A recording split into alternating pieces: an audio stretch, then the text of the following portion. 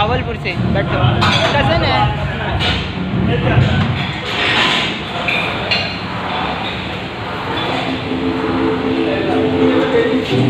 भगाओ साइकिल भगाओ।